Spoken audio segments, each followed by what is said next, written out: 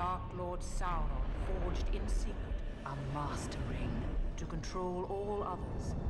And into this ring, he poured his cruelty, his malice, and his will to dominate all